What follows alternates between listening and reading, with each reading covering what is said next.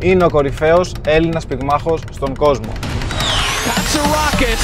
Katsarakis. Katsarakis is vicious on the inside, man. Katsarakis. Unloading now. Katsarakis. And another clubbing shot. Ήσουν πάντα του νοκάουτ. Ήμουν δυνατός από μικρή ηλικία. Άμα δεν τελειώνεις σε εύκολους αγώνες, δεν υπάρχει και τόσο ενδιαφέρον ούτε από manager ούτε από promoter να σου υπογράψουν. Πρέπει να τους τελειώνεις. From Athens, Greece, Andreas Katsuraki.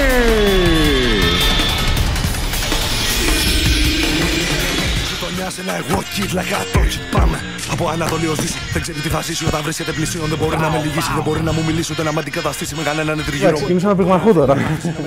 Έχουμε πρόβλημα. Andreas Katsarakis is looking to establish himself. So Andreas Katsarakis heads to the tournament finals. Fast, fast elevation. Να το, το τσίμπησε το σηκώτη. Φέρνω άλλο temptation. Τώρα που έχω όλο το attention. Βάζω τώρα σε detention. Γεια σας φίλοι και φίλες. Σήμερα βρίσκομαι στο αυτοκινητάκι μου για ένα special carpool επεισόδιο καθώς πηγαίνω στο αεροδρόμιο αυτή τη στιγμή για να παραλάβω τον Ανδρέα Κατζουράκη που για όσους και όσες δεν γνωρίζουν μπορούμε να πούμε χωρίς καμία υπερβολή ότι αυτή τη στιγμή είναι ο κορυφαίος Έλληνας πυγμάχος στον κόσμο. Representing his homeland of Athens, Greece. And now, fighting out of Houston, Texas, Andreas Katsoudakis. Ο Ανδρέας Κατζουράκης ή Κατζ όπως τον αποκαλούν στην Αμερική τα τελευταία 6-7 χρόνια, συγκεκριμένα από το 2018 ζει μόνιμα στις Ηνωμένες Πολιτείες της Αμερικής όπου και αγωνίζεται και κατέχει το εκπληκτικό ρεκόρ 14-0 σε επαγγελματικούς αγώνες πυγμαχίας στην άλλη πλευρά του Ατλαντικού. Αυτές τις μέρες έχει έρθει για λίγο στην Ελλάδα να δει τους δικούς του και συγκεκριμένα αυτή την ώρα έχει μόλις προσγειωθεί από την Κρήτη όπου είχε πέταχτη για ένα διημεράκι οπότε πηγαίνω εκεί να τον παραλάβω, να τον συναντήσω και να κάνουμε μια πολύ ωραία κουβέντα για το πώς είναι η ζωή στην Αμερική, πώς είναι να αγωνίζεσαι σε αυτό το top επίπεδο και να μιλήσουμε για τους αγώνες που έρχονται καθώς ο Ανδρέας βρίσκεται πραγματικά ένα βήμα από το να γίνει ο πρώτος Έλληνας παγκόσμιος πρωταθλητής στο box. my power, my stamina, my smartness in the ring. I think I'm a well all-around fighter, and I'm gonna show it tonight. Katsarakis. They start slowly, but that's not a slow start. That's a right hand. Good job of making a small ring even With smaller. the left hook downstairs does Katsarakis. And a nice counter shot there from Katsarakis. Big round for Cats here. He is getting everything Katsarakis can throw at him right now. And another clubbing shot. Wow. exchange at the end of the round. Μάλιστα λίγο αργότερα έχουμε κανονίσει να πάμε να παίξουμε μαζί κάποιους γύρους box γιατί ακούγονται διάφορα για αγώνες πυγμαχίας μεταξύ youtubers, rappers, influencers κτλ. Οπότε θέλω να είμαι έτοιμος και τι καλύτερο από το να προετοιμαστώ με τον καλύτερο. Μέχρι να φτάσουμε στο αεροδρόμιο όμως, για κάντε subscribe όσοι δεν έχετε κάνει, κάντε και ένα like στο βίντεο και φυσικά follow σε όλα μας τα social media.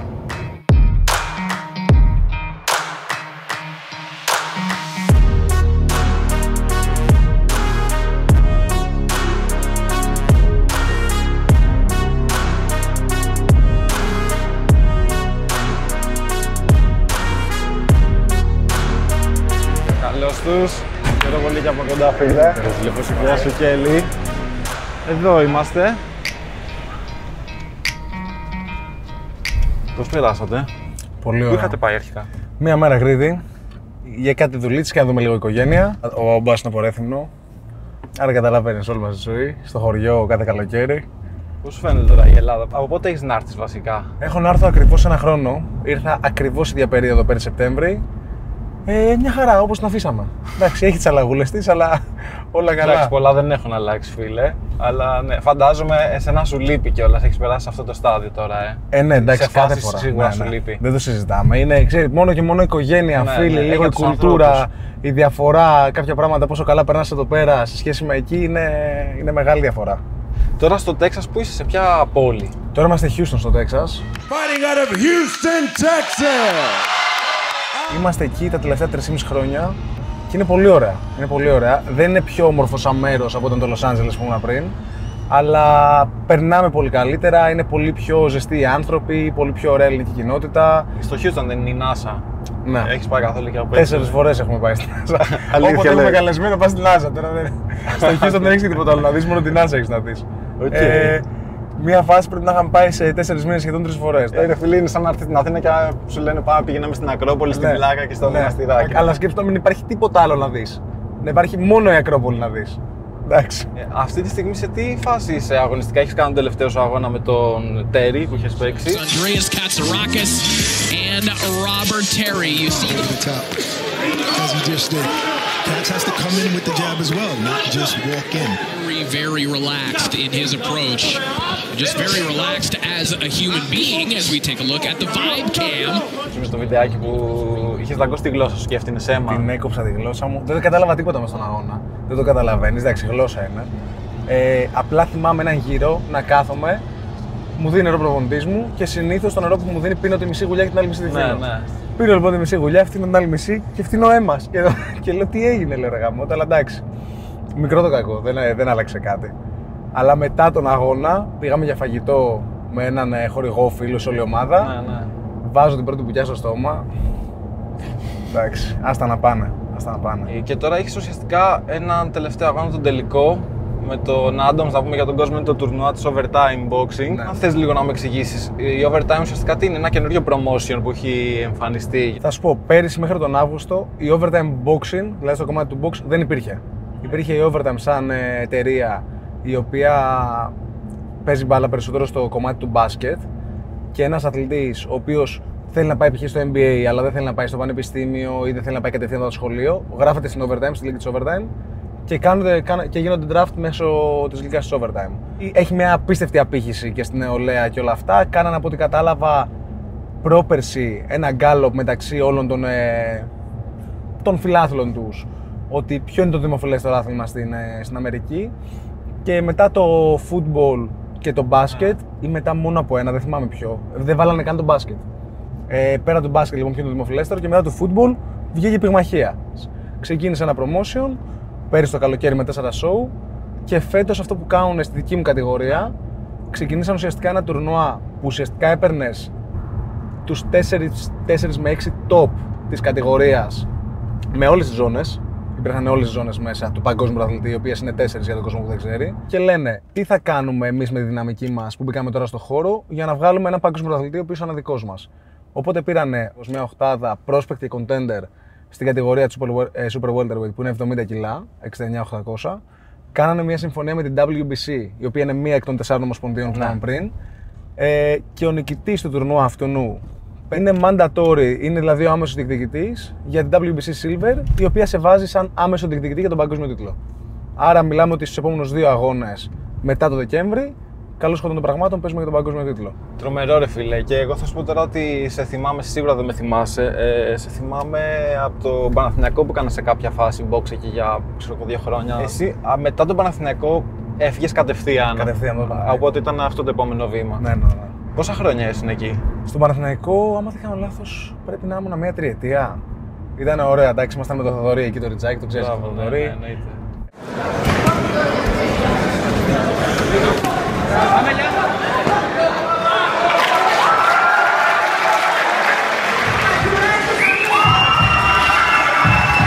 Ε, ήταν μονόδρομος το να πας εκτός για να κάνεις καριέρα Δεν το ουσιαστικά στο συζητάμε. box. Δεν το συζητάμε. Στην Ελλάδα για να κάνεις κάτι τέτοιο πρέπει είτε να έχεις οικονομική υποστήριξη από την οικογένειά σου, Ναι. ε, είτε να κάνεις μια δεύτερη δουλειά. Κάνοντας μια δεύτερη δουλειά δεν βγάζεις άκρη. Γιατί εντάξει, κακά τα ψέματα, είναι αυτό που λέμε καμιά φορά ότι μας λείπουν οι υποδομές. Δεν είναι τόσο πολύ στο κομμάτι των γυμναστηρίων ή των σάκων. Είναι απλά τα πράγματα. Στο γυμναστήριο μου, άμα έρθεις στην Αμερική που κάνω πυγμαχία, είναι ένας χώρος, μια σταλιά που έχει πέντε σάκους και ένα ring. Ναι. Αυτό είναι, δεν θες κάτι άλλο. Δεν θες κάτι άλλο, ρε. Θες φίλε. ουσιαστικά το επίπεδο και την προπονητική. Αυτά τα δύο είναι που λείπουν. Δεν λέω τώρα κάτι κακό για τους Έλληνες προπονητές ή οτιδήποτε τέτοιο, αλλά μέχρι και οι καλύτεροι έτσι, το γνωρίζουν και οι ίδιοι ότι δεν έχουν την, απάρι... δεν έχουν την απαραίτητη εμπειρία σε κομμάτι του εξωτερικού, να έχουν πάει, να έχουν ζήσει, να έχουν δει, να έχουν δουλέψει με τους καλύτερους. Γιατί αν δεν δουλέψεις με τους καλύτερους, δεν μπορείς να μάθεις. Στις προπονήσεις σου ουσιαστικά υπάρχουν διαφορές σε σχέση με τις προπονήσεις που έκανες στην Ελλάδα ή που κάνει οποιοδήποτε άλλος πυγμάχος; Θα σου πω, στο κομμάτι τώρα μιλάμε αποκλειστικά να μιλήσουμε για το πυγμαχικό. Είναι τρομερά απλά τα πράγματα. Δηλαδή, είναι αυτό που είπες: έχεις sparring, σάκο, στόχους και σχεμαχίε. That's it. Τίποτα άλλο. Τίποτα εξτρά. Το box είναι απλό και έτσι δουλεύουμε. Αυτό που ουσιαστικά ξεχωρίζει είναι πρώτον το απίστευτο μάτι που έχουν και οι προπονητικοί, που την έννοια το πώς μπορούν να αναλύσουν έναν αγώνα και μικρές λεπτομέρειες μπορούν να σου δείξουν για να μάθεις. Δεύτερον, το επίπεδο των αθλητών στο γυμναστήριο, όπου εσύ μόνο και μόνο με τα σπάριν που κάνεις Ναι. ανεβαίνεις κάθε μέρα και γίνεσαι καλύτερος. Και τρίτον, οι αγώνες. Γιατί εντάξει, και από τους αγώνες έχεις να πάρεις πάρα πολλά πράγματα. Και όταν ξέρεις κιόλας ότι μπορείς να φας από αυτό, και όχι απλά να φας, να φάει και η οικογένειά σου και να φάνε και τα παιδιά σου, ε, έχεις ένα διαφορετικό κίνητρο. Έτσι, αλλά όλα αυτά είναι και στον άνθρωπο. Γιατί θα έρθεις, θα πας σε ένα γυμναστήριο που είναι επαγγελματίες όλοι, μπορεί να είναι αίτητοι, να παίζουν με στην τηλεόραση και δεν θα δεις τους πάντες να δουλεύουν τόσο σκληρά. Δηλαδή θα σε εντυπωσιάσει με το πόσο λίγοι αθλητές δουλεύουν πολύ σκληρά. Θα σε εντυπωσιάσει. Περισσότερο να ξέρεις, αυτοί που δουλεύουν πιο σκληρά γενικά από όλους είναι είτε Ευρωπαίοι, είτε Σοβιετικοί, είτε Ασιάτες, οι οποίοι μετακομίζουν στην Αμερική για να γίνουν επαγγελματίες. Γιατί δεν ξέρω, έχουν θυσιάσει περισσότερο, το θέλουν περισσότερο, το διψάνε περισσότερο γι' αυτό. Οι Αμερικάνοι, εντάξει, δεν το συζητάμε, μιλάμε τώρα για. σε ποσοστά. Δεν λέω, Ναι, δεν ναι, είμαι ναι. απόλυτος. Όχι, καταλαβαίνω αυτό που λες. Ε, κατά κύριο λόγο δεν δουλεύουν τόσο σκληρά. Είναι δύσκολος ο δρόμος. Είναι πολύ δύσκολος ο δρόμος. Είχες και εσύ κάποια, νομίζω, ένα back and forth από όταν πήγες αρχικά, έτσι; Είχαμε αρκετές δυσκολίες. Έχω αλλάξει σκέψου τρεις φορές μέρος που μένω και προπονητή. Η πρώτη ε, το ήθελα εγώ γιατί ήταν αρκετά λάθος το όλο concept που είχα πάει και το τι συνέβαινε. Για τον κόσμο που δεν ξέρει, στο... ουσιαστικά στην επαγγελματική πυγμαχία, όταν ξαφνικά γίνεσαι επαγγελματίας από ερασιτέχνη, πρέπει σιγά σιγά να αλλάξεις το στυλ σου, να χτίσεις την καριέρα σου. Άρα σε προσέχουν στην αρχή, σου βάζουν πιο εύκολους αντιπάλους, μέχρι που φτάνεις στο σημείο να σου ανεβάζουν τους αντιπάλους και το επίπεδο, ώστε να φτάσεις κάποια στιγμή να παίξεις για τον τίτλο. Ε, εμένα έγινε πάρα πολύ γρήγορα αυτό, αυτή η μετάβαση. Ε, στο, όταν ήμουν 3-0, στο τέταρτο μόλις παιχνίδι μου, ε, μου βάλανε το Walter Wright, ο οποίος ήταν πρώην διεκδικητής παγκοσμίου τίτλου με ρεκόρ 17-5, κάτι το οποίο δεν συμβαίνει στο box. Δηλαδή είναι ελάχιστοι άνθρωποι που θα κάνουν μια καριέρα σαν τον Λοματσέγκο. Ή δεν έχει ξαναγίνει να παίξουν δεύτερο τρίτο αγώνα για παγκοσμίο τίτλο. Ναι, και αφού τελείωσε ο αγώνας με τον ε, Walter Wright, όπου δόξα τω Θεώ κερδίσαμε Ναι. όλους τους γύρους σε unanimous decision, δηλαδή όλοι οι κριτές μας δώσαν τον αγώνα, είχε ξεχυλήσει για μένα το ποτήρι γιατί έβλεπα ότι χωρίς μέσα εισαγωγικά να έχω προπονητή κάνοντας μόνος μου τη δουλειά που έκανα, ε, ανεβαίνει πάρα πολύ γοργά το επίπεδο και δεν ήμουν διατεθειμένος να ρισκάρω την καριέρα μου για να μείνω σε μια βολική κατάσταση την οποία είχα σε άλλα θέματα, όπως ας πούμε το οικονομικό. Μετά ήρθες Ελλάδα από αυτό. Ήρθα Ελλάδα για περίπου 6 μήνες, Ναι. όπου ήμασταν σε μια διαδικασία να λυθεί το συμβόλαιό μου. Ε, δόξα τω Θεώ τα καταφέραμε όλα καλά. Και μετά είχα, ερχόντουσαν σε επαφή μαζί μου αρκετοί άνθρωποι από την Αμερική όσο ήμουν στην Ελλάδα. Γιατί όπως είπα, το να κερδίσεις τον αντίπαλο που κέρδισα το τέταρτο παιχνίδι μου δεν ήταν ε, μικρό πράγμα. Άρα μας έδωσε την απαραίτητη αναγνώριση αυτό, ώστε μετά να έρθουν οι σωστοί άνθρωποι σε επαφή μαζί μου και να πάμε πάλι πίσω. Και ξανά LA ουσιαστικά πήγες μετά; Μετά πήγα στο Big Bear στο, στην Καλιφόρνια, που Οκ. προπονήθηκα με τον Άμπελ Σάντσες, που μπράβο, ήταν προπονητή ναι. του Γκολόβκιν και Ναι, άλλων. Ε, που και ήταν εντάξει, φοβερή εμπειρία, αλλά πάρα πολύ δύσκολο. Έτσι. Τώρα ήμουνα 12 μήνες στο βουνό επί COVID. Είχα παίξει έναν αγώνα 12 μήνες ενώ ήμουν και έκανα δύο προπονήσεις τη μέρα και ζούσαμε στο γυμναστήριο.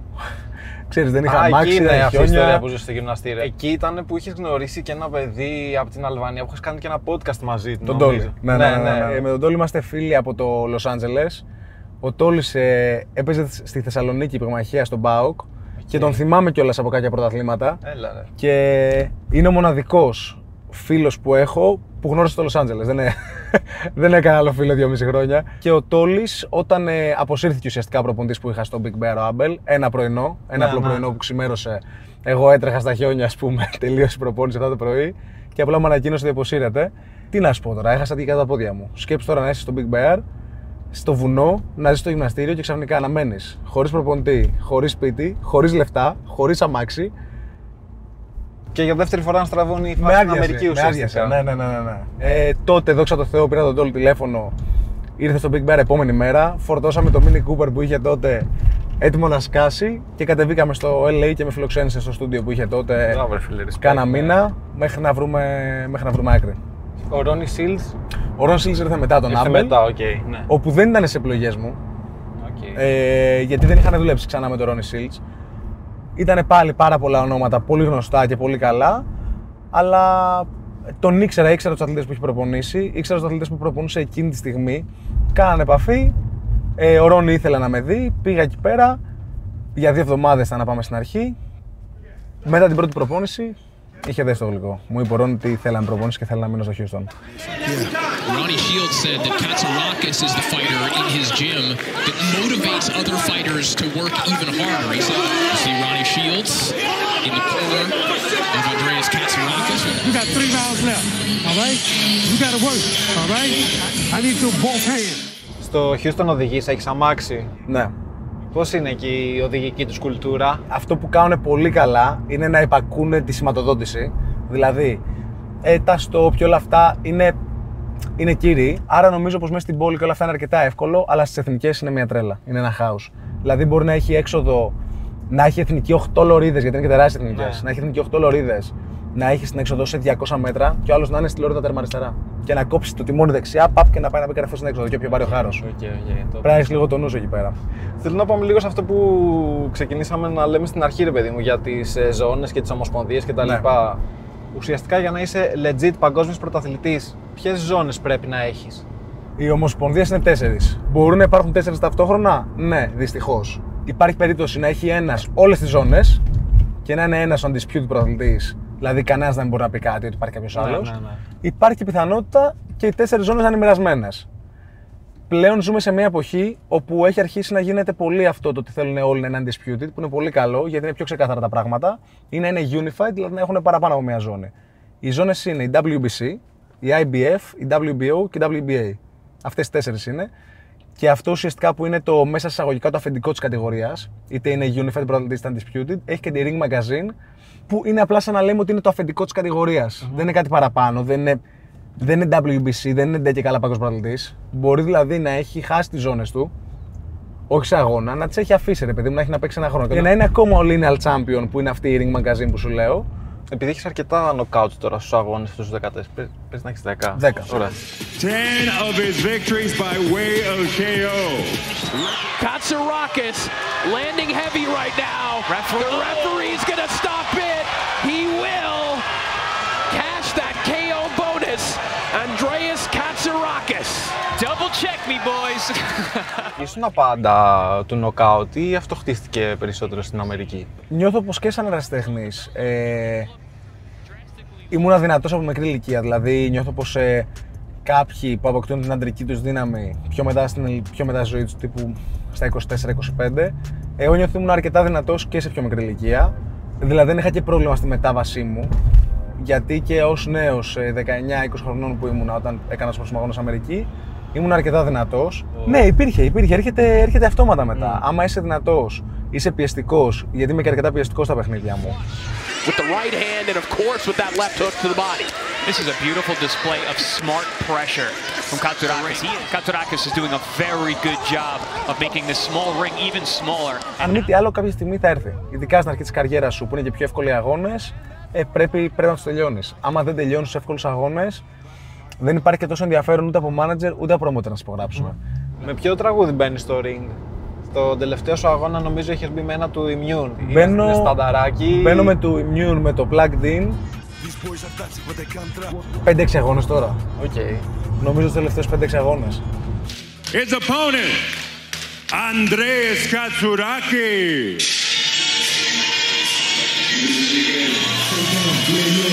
The pride of the Greek boxing community, Andreas Katsarakis. Ε, γιατί εγώ γενικά δεν ακούω πολύ μουσική.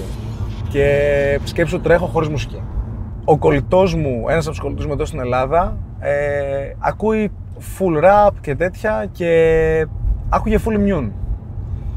Και τον άκουσα και πιάσαμε και την κουβέντα με τον immune και εκείνος Παναθηναϊκός, εγώ ήμουνα και, στο, εγώ ήμουνα και στο, στην ομάδα και όλα αυτά. Και το plugged in το κομμάτι μου άρεσε πάρα πολύ γιατί είχε και αγγλικά μέσα και ελληνικά και είχε και κάποιους ήχους που μου αρέσανε, είχε, μου ταιριάζανε. Και με ανέβαζε, με ανέβαζε αρκετά το κομμάτι.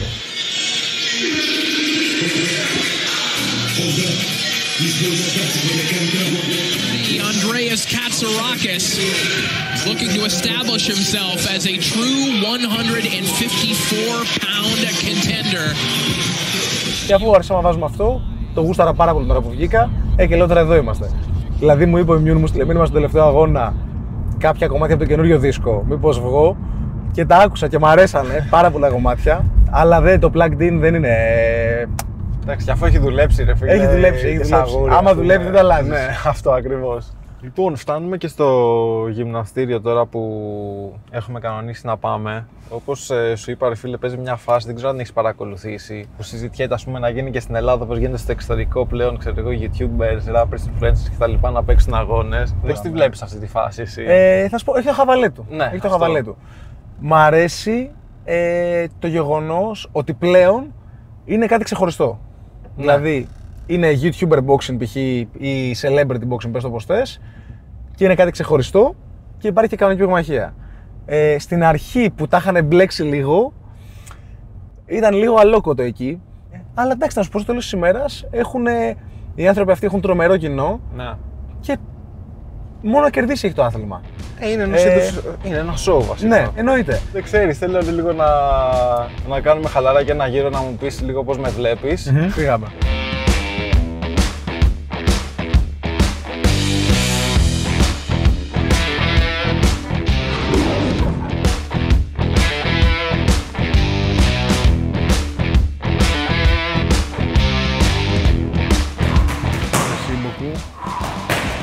Να πούμε στον κόσμο ότι έχουμε σκυπάρει το κομμάτι του μπαντάζ. Δεν υπάρχει ούτε μπαντάζ ούτε τίποτα. βέβαια. Ούτε μασέλες, παιδιά. Κανονικά συγγνώμη. μασέλες και μπαντάζ, παιδιά. Και κάσκα. You don't even have a chance to beat me. This shit clear, homie. Deep Θα βάλουμε εδώ η Mew να παίζει από πίσω. Χαμός. Σαλόνι, δρόμοι, γνώμη. Τι να δεις, τι να πεις, τι να πω. Πού να βγεις, πού να μπεις, πού να πω. Καμπανάκι.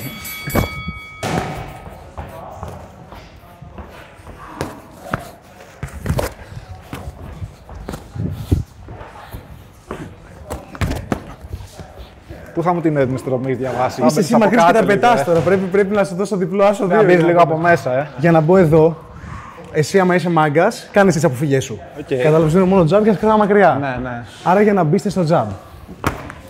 Να το, το άρπαξα.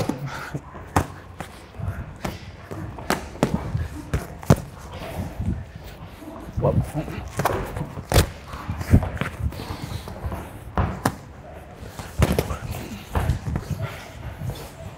πάει, ξεκινήσω να πυγμαχώ τώρα. Έχουμε πρόβλημα.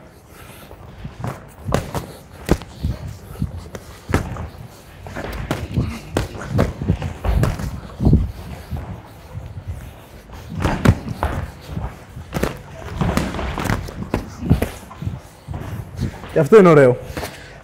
Μπούμ στους ώμους, καταλαβαίνεις. Άμα δώσει τα 10 εδώ φορτωμένα, δεν προσήκω το χέρι μετά. το έχω κάνει σε αγώνα. Ένα το αγώνα έπαιζα με τον Cameron Krail, ένα Μεξικανό ωραίο βετεράνο. Πέμπτο γύρο δεν μπορούσα να σηκώσω τα χέρια του. Απλά θέλει ασταμάτητα εκεί. Θέλει να δίνει, Και να άμα δίνει. βάλεις Να μετά, ρε δίνεις. φίλε, και το κάψιμο των νόμων από την κούραση που Έχει έρχεται. τελειώσει. έχει τελειώσει. Πέμπτο γύρο σταμάτησε. Λοιπόν, πού είναι η κάμερα; Διπλό τζαμπ δεξί, δεν χάνεις ποτέ. Μ' άρπαξα δύο δεξιά ήδη. Πρέπει να το κόψουμε τώρα το παιχνίδι γιατί θα έχουμε θέμα. YouTuber boxing, εγώ είμαι μέσα. Πιστεύεις μπορώ να Πιστεύω, κάνω κάτι; πιστεύω, πιστεύω. Έχεις το ύψος, έχεις την απόσταση. Εκεί είσαι, εκεί. Τζαμπ, τζαμπ, τζαμπ. Τους μαζεύεις με κροσέ, του τελειώνεις με δεξί. Σε ευχαριστώ πολύ. φίλε. Εγώ ευχαριστώ.